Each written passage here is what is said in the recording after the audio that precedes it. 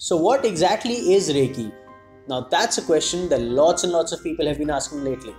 There's been an increasing interest in energy healing therapies like Reiki.